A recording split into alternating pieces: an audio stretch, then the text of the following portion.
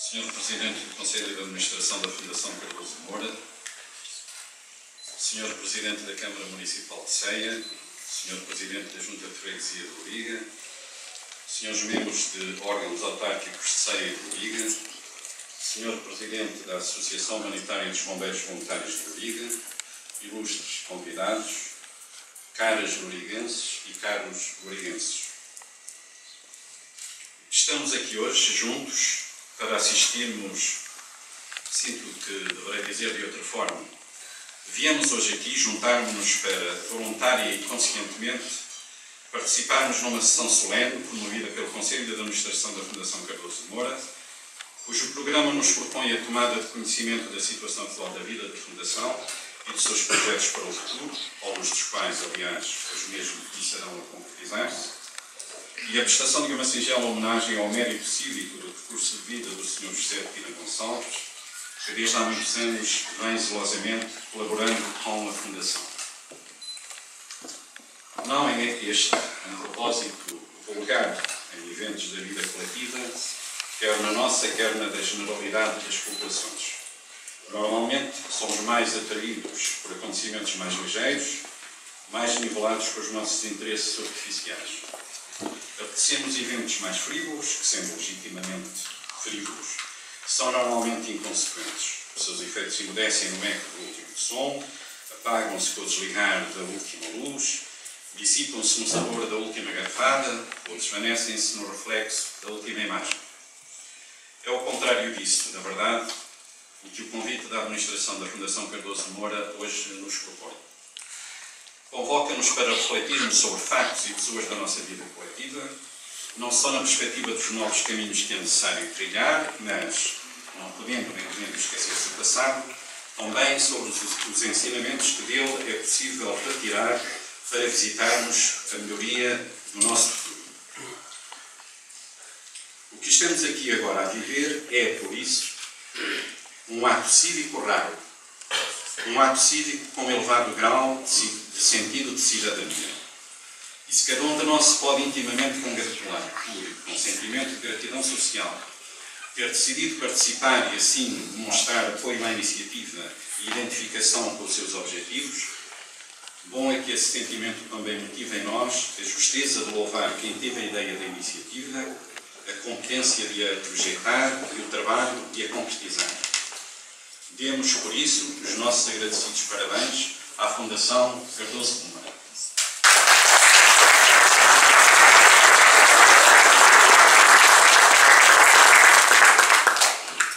A reflexão que o cumprimento do programa desta sessão suscita conduz-nos, na sua essência, a uma tripla consideração, poderemos até dizer mais, a uma tripla celebração.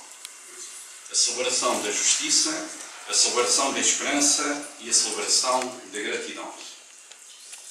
Pode esta visão dos objetivos do nosso encontro parecer abstrata, talvez até um pouco idealista, mas vê-la-nos mais próxima da realidade da motivação que aqui nos trouxe, se conviermos que celebrar a justiça é aceitar o ónus de reparar injustiças por omissão e por erro, cometemos contra os que nos precederam e até contra nós próprios. Celebrar a esperança é acreditar que o esforço despendido na concretização do que nos propuséramos pode vir a resultar em proveito pessoal e coletivo.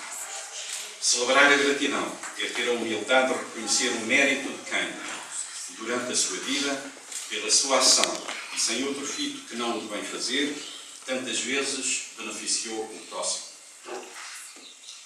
Celebrar a justiça, a esperança e a gratidão são princípios básicos da ética social, mas raramente seguidos na prática da convivência dos homens.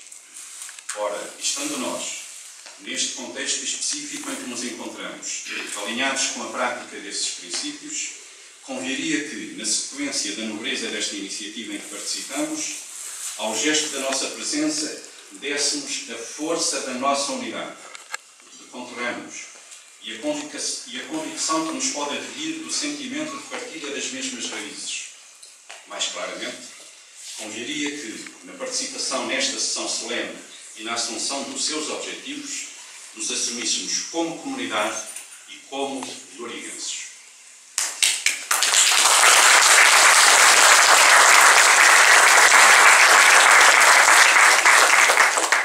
Como comunidade, porque devemos dar a este gesto a força da nossa unidade, na medida em que não nos juntamos aqui em resultado de uma mera aglomeração de subjetividades, é resultado de uma ocasional agregação de interesses pessoais de menor ou maior valor, em resultado fortuito do acaso de encontros.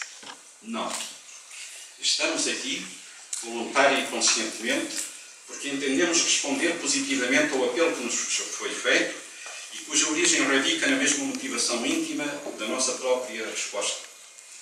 Estamos aqui para considerar e para refletir sobre assuntos que ultrapassam o âmbito e o interesse individual e se situam manifestamente na área, na esfera do bem comum e por isso nos congregam no sentimento de comunidade como conterrâneos nascidos neste mesmo chão, como filhos desta mesma Serra-Mãe. Em consequência, estamos como, como comunidade que natural e conscientemente se assume, no seu espírito e até no seu número, como representativa de todos quantos, pelos mais diversos motivos, não podem estar aqui presentes. E estamos como lorienses, porque queremos enriquecer este gesto com a convicção que advém do aprofundamento das nossas raízes e assim fortalecer a nossa condição de comunidade. Aprofundamento das nossas raízes no sentido em que a qualidade de ser origem, resultante automaticamente da nossa naturalidade, deve ser transcendida pela nossa qualidade de ser de origenses, resultante da aceitação e comunhão voluntária dos valores que, desde os nossos antepassados, têm constituído a nossa matriz identitária e distintiva entre o conjunto das populações que nos são próximas. Estamos aqui, sim, porque somos de Loriga, mas ainda mais do que isso. Estamos aqui porque estamos imbuídos da nossa vontade e do nosso espírito de ser lorigenses. Com efeito, ser lorigense é uma opção vivencial e convivencial conscientemente assumida. E a adesão voluntária é uma realidade cultural singular.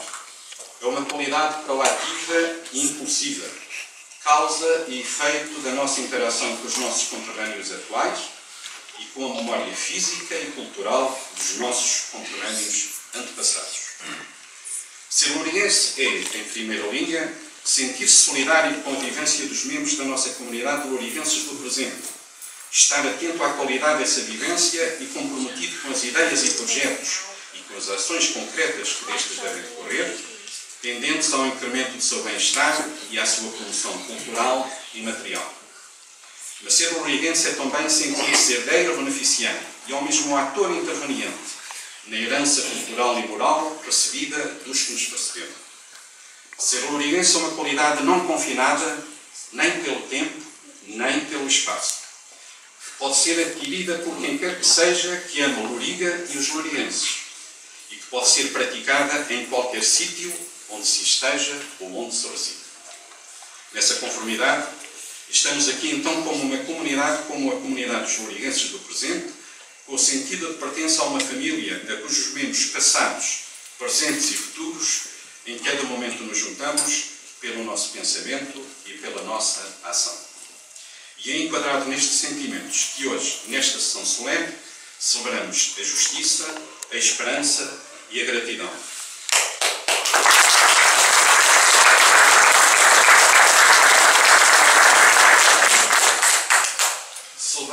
Celebramos a justiça e, em primeiro lugar, a que reclama António Cardoso Moura, que temos de penosamente reconhecê-lo, desconsideramos na sua memória e na sua generosidade.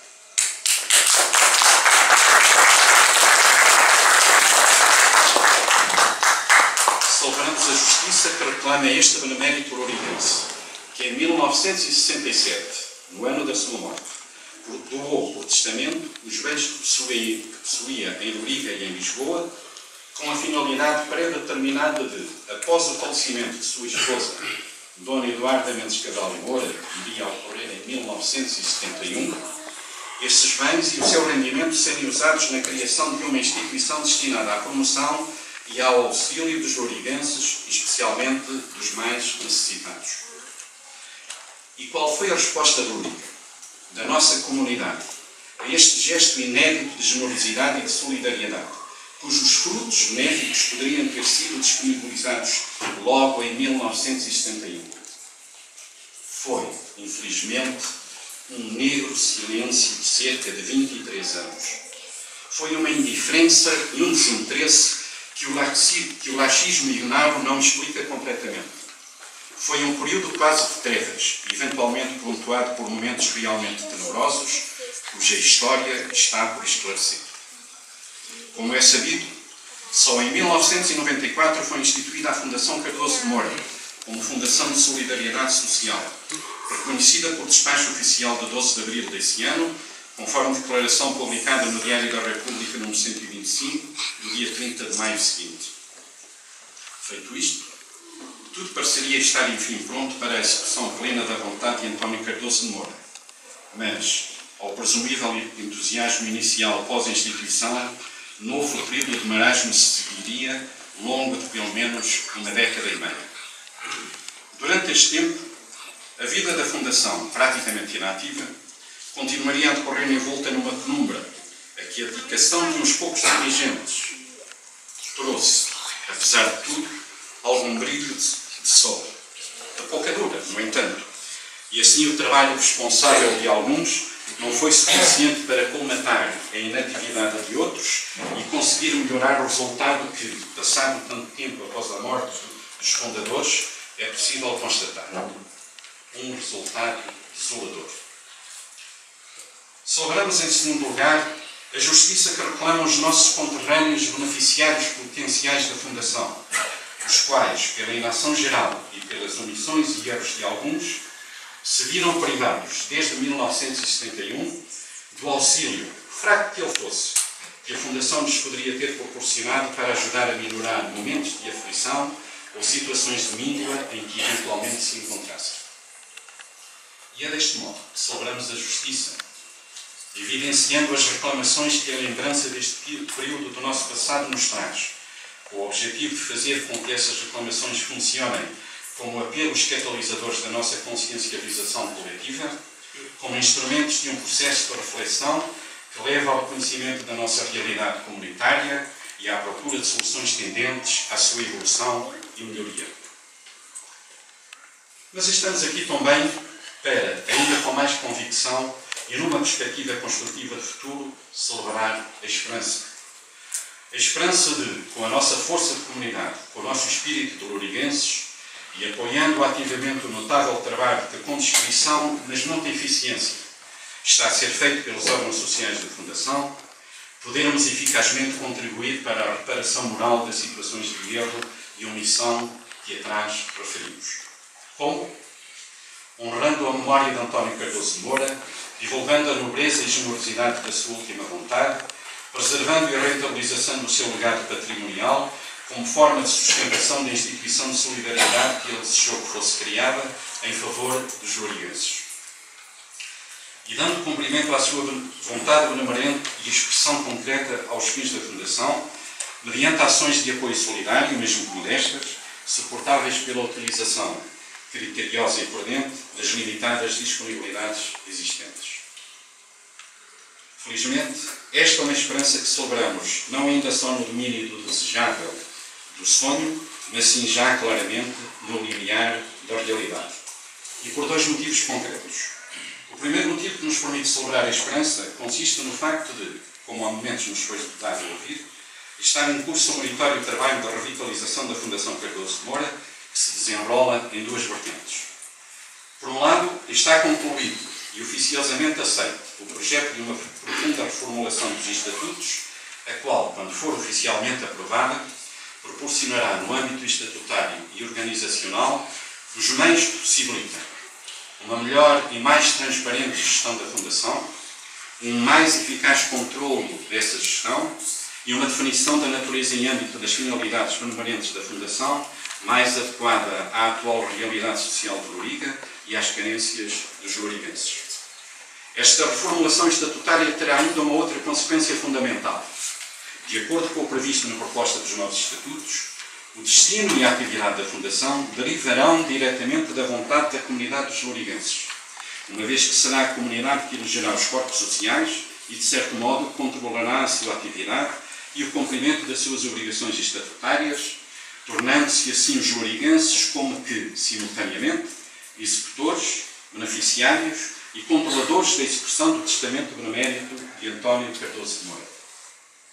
Por outro lado, estão em curso obras tecnicamente complicadas e custosas, em todos os sentidos da palavra, de reparação do património situado em Lisboa, cujo estado de conservação e habitabilidade está, na generalidade, abaixo, e em, e em, em alguns casos, muitíssimo abaixo do limite mínimo exigível. Como se sabe, sem a conservação e a rentabilização deste património, não haverá suporte financeiro para viabilizar a existência da Fundação. O segundo motivo que nos permite celebrar confiadamente a esperança é o de que hoje, aqui, 43 anos decorridos após a morte do seu fundador, a Fundação Cardoso de Moura irá, pela primeira vez, praticar um ato de benemerência irá, enfim, começar a dar conteúdo, embora de forma modesta, à sua condição de instituição de solidariedade social, irá, enfim, começar a exercer as funções pelas quais foi desejada e para as quais foi instituída. E vai fazê-lo de uma forma cujo simbolismo não poderia ser mais eloquente. Vai contribuir com uma pequena ajuda financeira para o custeio das despesas iniciais de escolaridade das crianças residentes em Uriga, que este ano irão, pela primeira vez, frequentar o ensino básico. E assim, a nova vida desta recriada instituição vai ajudar a dar suporte à vida nova que estas crianças vão iniciar. E assim vão elas poder beneficiar da ação de um homem que não conheceram, de cuja vida e de cujo gesto benemérito possivelmente nada ou pouco terão ouvido falar, pelo menos com apropriado reconhecimento. Mas este ato, originado pela ação benemérita de alguém que nos precedeu, irá ficar certamente na memória destas crianças. E confiamos que, já depois da nossa verdadeira partida, continuarão elas a recordar com agrado o momento que hoje aqui viveram. E esperamos nós também, ardentemente, que elas então ainda o possam repetir em favor das crianças do seu tempo, alimentando assim a cadeia, a cadeia intergeracional da memória, pensamento e ação que nos une como lurigenses. Na verdade, nós, os lurigenses do presente, devemos consciencializar-nos na nossa vivência cotidiana de que somos já os antepassados dos lorigenses do futuro.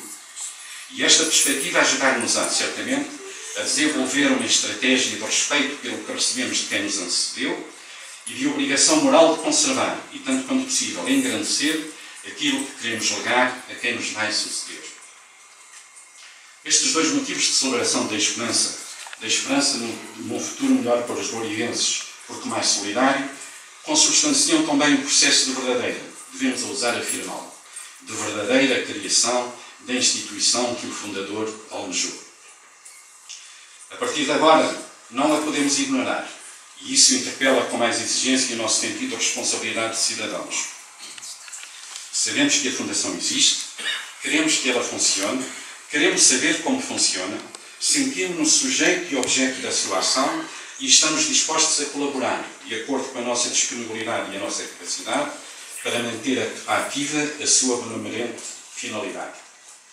Dentro de algum tempo, todos iremos ser chamados a manifestar, sem custos nem pré-condições, a nossa adesão ao projeto de revitalização da Fundação, a nossa identificação com os objetivos desse projeto e também a constituirmos-nos como órgão comunitário que zela pelo alcance desses objetivos e avalia a utilização dos meios e recursos usados para os atingir.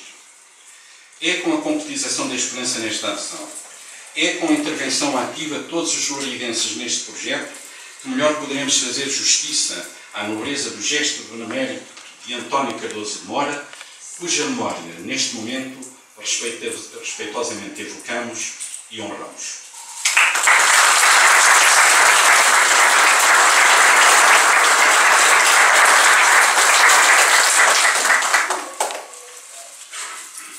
Celebramos a justiça e a esperança no ato coletivo, na perspectiva da redefinição da nossa relação social, isto é, na perspectiva do aprofundamento do nosso reconhecimento e da nossa interação com o legado e uma instituição que circunstâncias várias não tinham até agora aproximado da nossa vida coletiva. Mas desta celebração da justiça e da esperança deriva, inexoravelmente, a necessidade de celebrarmos a gratidão. A gratidão, a nossa gratidão pelo trabalho inteligente, perseverante, dedicado e discreto, que fez com que não desaparecesse irremediavelmente o suporte da concretização da nossa da vontade benemérita de António Cardoso de Moura, que fez com que não morresse completamente a esperança de, um dia, a semente da solidariedade poder dar algum fruto, como agora está a começar a acontecer. A gratidão. A nossa gratidão pelo trabalho que nos permite estarmos agora a celebrar a justiça e a esperança, devemos-la a um cidadão exemplar e a um lurigense exemplar. Devemos-la ao Sr. José de Pina Gonçalves.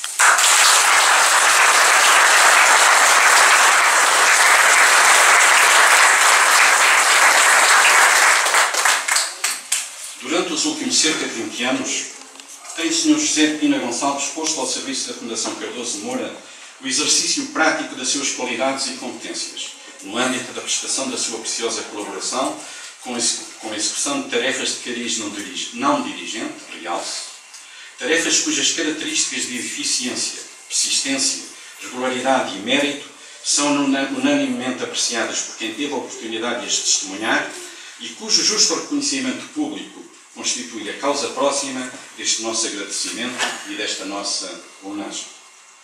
Com efeito, durante aquele longo período de penumbra que há momentos recordamos, foi a chama discreta, mas viva, do seu empenho e da constância da sua dedicação que permitiram que não deixasse de se ver completamente o caminho do futuro da instituição.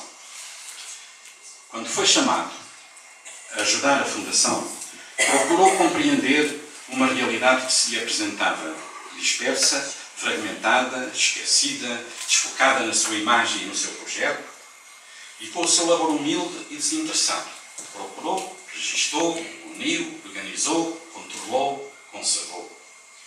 Não tendo incumbências nem responsabilidades diretivas, deu com o seu trabalho proativo a consistência organizacional suficiente para que as sucessivas administrações em exercício pudessem, querendo e sabendo, dar vida a uma ideia que por pouco não se apagava definitivamente da nossa memória coletiva.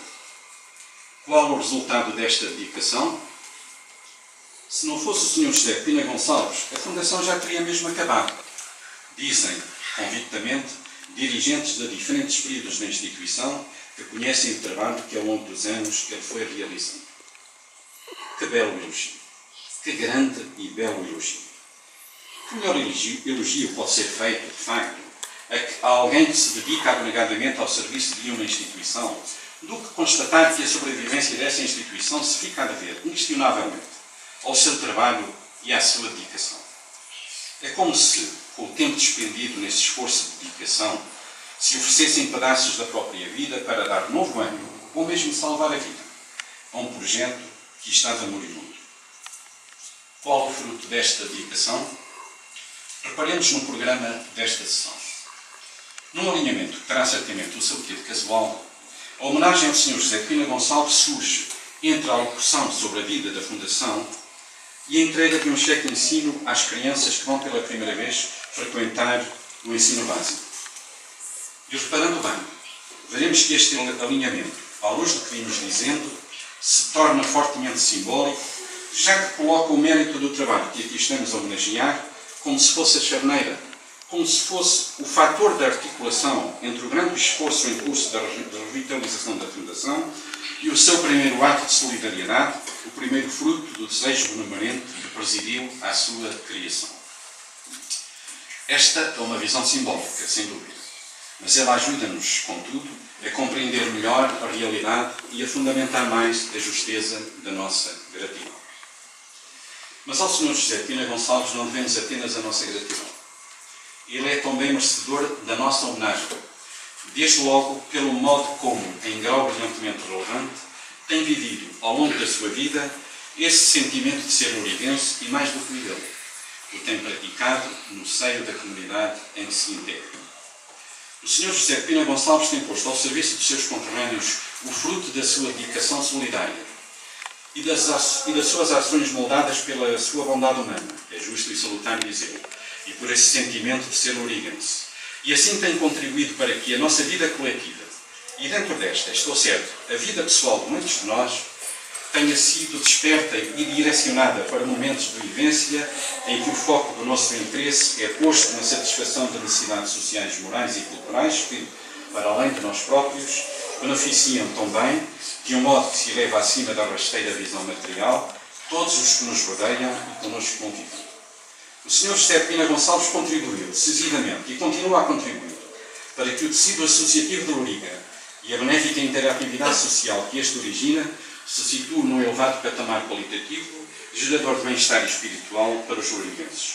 Por tudo isto, é justo que aqui, publicamente, lhe prestemos homenagem e que o façamos com a solenidade verdadeiramente mais marcante, que é aquela que é dada, não pelo fausto ofuscante da cerimónia, mas pelo fulgor da íntima e profunda sinceridade da nossa atitude. Mas queremos prestar-lhe mais do que uma homenagem. Queremos manifestar-lhe a nossa gratidão, queremos dizer-lhe o nosso obrigado. Pela homenagem, demonstramos, é certo, a nossa admiração pelas suas qualidades de homem e de cidadão e pelo modo como as exerce em favor da comunidade. Mas o obrigado é mais exigente, pois espera de nós compromissos de mudança de atitude e de disponibilidade para a retribuição da ação. Senhor José de Pina Gonçalves, pelo obrigado que lhe dizemos no pleno sentido semântico da palavra, nós, a comunidade de não só prestamos a nossa homenagem e demonstramos a nossa admiração, como, para além disso, reconhecemos a dádiva, a dívida de gratidão que temos para consigo e, simultaneamente, nos reconhecemos obrigados a comprometer-nos com o seu pagamento.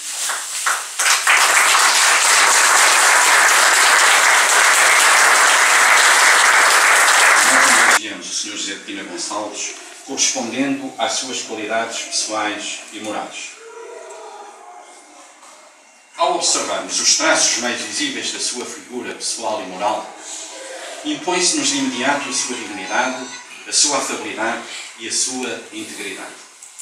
A dignidade na postura e na compostura, atitudes entendidas e praticadas essencialmente como modo de reconhecer e conferir a dignidade que também os outros e o relacionamento com eles lhe merecem. A afabilidade, a simpatia, a atenção prestimosa, a vontade e o à vontade, com que pratica esse relacionamento com qualquer de seus concidadãos, sem preconceitos nem discriminações, tornam a convivência com o Sr. José Pina Gonçalves um exemplo de cultivo da sociabilidade e de como esta constitui um fator de incremento do nosso bem-estar comunitário e de enriquecimento pessoal em experiência e conhecimentos. E a integridade, na sua completa expressão de retidão, honradez, honestidade, probidade, que claro e reconhecidamente se impõe como pedra de toque destas e todas as demais qualidades que estruturam a sua personalidade. E homenageamos o Sr. José Pina de Gonçalves pelas suas piadas, que exigiram dele competências reconhecidas no desempenho de funções nas áreas, da, das áreas administrativa, contabilidade, tesouraria e tarefas de, por exemplo, caligrafia comercial, datilografia, arquivo e conservação de documentos, de valia de contactos comerciais com bancos e com fornecedores, etc, etc. Esta experiência profissional, potenciada pela aguda inteligência que desde sempre lhe foi reconhecida, aliam-se também qualidades inatas de organização e de gestão. E o conjunto destes conhecimentos tornaram extremamente proveitosa a sua ação nas várias associações norueguenses em que exerceu funções diretivas, dotando-as dos métodos de trabalho e do registro e controle de informação ao nível dos fecheiros associados, escrituração de livros de receitas e despesas, livros de datas, registro de correspondência, controle de atualização, o socorro paroquial norueguense, a Casa do Povo de Loriga, o agrupamento do Corpo Nacional de Escutas e, por último, a Cooperativa Popular de Loriga, que desgraçada e inexplicavelmente há poucos meses deixámos falir e morrer. Felizmente, mantêm-se vivas e queridas no coração dos nossos conterrâneos, para além, naturalmente, da Fundação Cardoso de Moura, a Irmandade Santíssimo, do Santíssimo Sacramento das Almas e das Almas de Loriga, a Sociedade Recreativa e Musical Lorigense, o Grupo Desportivo Lorigense, a Associação Desportiva e Cultural da Metalúrgica Real, a Associação Humanitária dos Bombeiros Voluntários de Loriga, a Associação Lorigense da Pleiba à Terceira Idade, o Centro Paroquial da Assistência Social, com as suas valências de centro infantil e da Casa de Repouso Nossa Senhora da Guia, a Confraria da Boa e do Bom Negro de Loriga, o Centro Loriguense em Belém, no Pará, Brasil, e a ANOR, Associação dos Naturais e Amigos de Loriga, em Sacadura. Ao longo dos séculos, ou ao longo de séculos, sim, tratando-se do associativismo de Loriga, já podemos dizer com orgulho, ao longo de séculos, foram muitos os lorigenses que, com o seu trabalho, alimentaram esta nossa alma associativa. Muitos terão feito um trabalho relevante e, de entre alguns terão, muito injustamente, caído no esquecimento, sem o devido reconhecimento do seu mérito. Estamos convencidos, porém, de que, de que, diante de todos, muito dificilmente alguém terá alcançado a eficácia e o brilho da intervenção e a grandeza da desinteressada dedicação do Sr. José de Tina Gonçalves. Com efeito, a sua, a sua disponibilidade para servir concretizou-se num amplo leque de colaboração que vai desde a experiência autárquica que teve como membro da Junta de Freguesia de Lorica antes e depois do 25 de Abril, distinguindo-se aí como grande organizador e dinamizador do primeiro recenseamento eleitoral feito na nossa terra, e secretário da primeira Assembleia de Freguesia eleita, até ao serviço prestado à paróquia de Loriga no âmbito da atividade da Comissão Fabriqueira, em que participou durante vários anos. As suas qualidades de integridade e de honestidade e as suas competências de organização e gestão impuseram digamos assim, como um elemento imprescindível quando se pretendia formar o melhor elenco diretivo para qualquer uma das nossas coletividades. E a sua ação tornou-se fator central e decisivo ou nos processos de criação, ou nos processos de revitalização, ou na normal condução diretiva da vida das associações a que tem ativamente prestado a sua colaboração e no âmbito da qual, para além do exercício dos cargos que lhe eram atribuídos, muitas vezes teve, como é sabido, de suprir também as ineficiências ou as ausências de outros elementos. Por isso, ao longo de vários anos, puderam usufruir dos seus conhecimentos e da sua disponibilidade solidária o Grupo Desportivo Lorigense, a Irmandade Santíssimo Sacramento e das Almas de Loriga, a Sociedade Recreativa e Musical Lorigense e a ANOR, seja ao nível do exercício de funções diretivas, com ênfase nas tarefas de organização e gestão, seja ao nível da colaboração. Foram, porém, as suas intervenções nos processos de criação de algumas associações que mais exigiram a sua, da sua disponibilidade solidária e que mais evidenciaram a sua inteligência na solução de problemas, o seu engenho na ultrapassagem de situações constrangedoras do caminho que se pretendia percorrer, a sua perseverança quando, quando à sua volta o desalento fazia crescer a vontade de sussurrar ou mesmo a resistência, a sua energia motivante perante o desânimo paralisante, a sua vigilante atenção aos desvios da reta intenção e a coragem de os corrigir. Nestes processos de criação e, sequentemente, também no exercício de vários cargos diretivos, deu o Sr. José Pina Gonçalves o melhor de si à Associação Marivense de Apoio à Terceira Idade e, muito especialmente, deu o melhor de si, e num grau tão elevado de eficiência e generosidade que sem ele não teria, eventualmente, sido possível viabilizar a sua criação e garantir a sua existência, deu o melhor de si, repito, a esta Associação Humanitária dos Bombeiros Voluntários de Loriga, que hoje tão hospitaleiramente nos acolhe. Melhorar a vida dos mais idosos e carenciados, dar a vida, dar a própria vida, se preciso for, para salvar a vida dos outros, são os lemas destas duas associações. Honra a todos quantos ajudaram a criá-las e honra a todos quantos elas trabalham. E na pessoa do Sr. José Pina Gonçalves, honra e agradecimento a todos os loriguenses que, ao longo dos tempos, como dirigentes, como dirigentes, quer das associações já, já extintas, quer das que ainda se mantêm vivas e atuantes, com reta intenção e sem o fito do mero interesse pessoal, pugnaram e pugnam pelo associativismo e estiveram na primeira linha da satisfação das necessidades de sã convivência social e de solidariedade dos nossos conterrâneos. Como sintetizava há dias um amigo, ele é um autêntico advogado de Loriga e um advogado que trabalha pro bono, acrescentamos nós. Ele só não faz um favor a qualquer pessoa que o peça se isso lhe for totalmente impossível. Realça o outro amigo, referindo ainda que nunca dele se ouviu uma palavra menos agradável para quem quer que seja. Esta disponibilidade para ajudar, esta atenção às necessidades, este sempre ao dispor, a vontade franca e a honestidade inascendível que põe nos seus atos e nas suas relações com os outros, tornam-no criador da amizade e da confiança geral dos lorivenses ao ponto de alguns até as chaves das próprias casas me entregarem para, na sua ausência, ele fazer o favor de zelar por elas. E a todas estas solicitações, o Sr. José Pina Gonçalves corresponde com gentileza, com um sorriso, com um cumprimento, com uma palavra de incitamento e de esperança e sem exigência de outro retorno, não um simples obrigado. Ir uma mente para o mundo que existe para lá dos montes que nos rodeiam. Onde está a nossa memória, a nossa reverência memorial a todos eles? Não podemos cristalizar a nossa mente no passado, mas não devemos ignorar nem apagar o passado, se quisermos poder perspectivar, enquanto comunidade, a estrutura cultural e económica do nosso futuro. Homenageamos também o Sr. José Pina Gonçalves pela sua, pela sua percepção da necessidade de rentabilização e desenvolvimento dos talentos pessoais. Na realidade, é desde o passado que temos de arquitetar o nosso futuro, porque hoje, no presente, só podemos escolher aquilo que no passado tivermos semeado.